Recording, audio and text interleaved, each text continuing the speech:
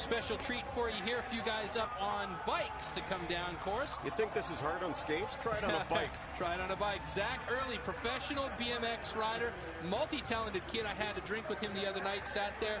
He teaches surfing. He also rides motocross. Richie Schley, he's a co-commentator I've worked with, an expert on, uh, on mountain biking. And, uh, I mean, he is a legend, absolute legend in freeride mountain biking. Ali G.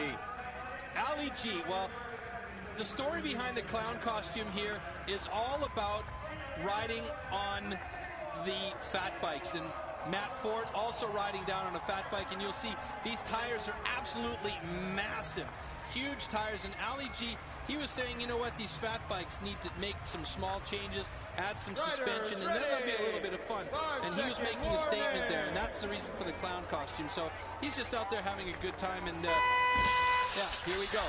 There goes the studded tires. And Ali G gets out there right away really quickly with Zach Early. Richie Schley, well, never one to, to slough off having fun on a bike. And look at this, Zach Early. He's making this a competition against Ali G as they come around that corner. This isn't all about fun. These guys are going head Yeah, to I think they're really going for it. They might have some beers on the line for the end of this one. I think the smaller tires on the 20-inch BMX underneath Zach Early are making the difference here, and those big fat tires with all the spikes on it for Ali G, or maybe it's just the clown shoes. Oh, There's a- there- an illegal move. Ali G goes nothing's down. illegal in this. No, it seems not, huh? The rules are there are no rules. Zach throwing down some old school racing skills as he back tops the uh, tables, is jumping over them, and look at that. Little style at the end. Much style at the end.